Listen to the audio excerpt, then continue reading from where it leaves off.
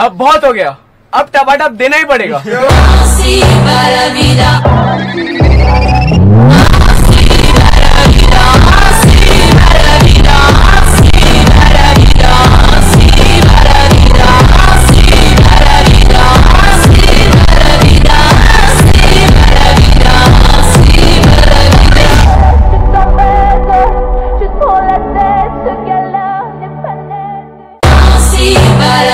up.